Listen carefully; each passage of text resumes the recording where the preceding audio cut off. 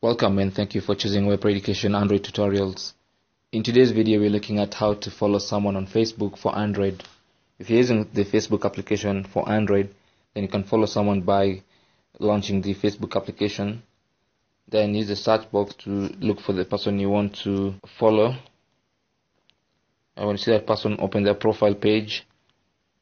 After you open the profile page, you just scroll down and see a few posts to make sure that's the person you want to follow and after you've confirmed that click on the follow button that is right there next to the add friend button and then confirm uh, by default. So that's the follow button will turn to blue that's showing that you're following that.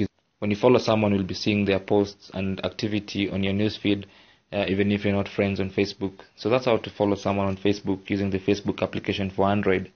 Thank you for watching. If you have any question or comment leave it in the comments box below this video.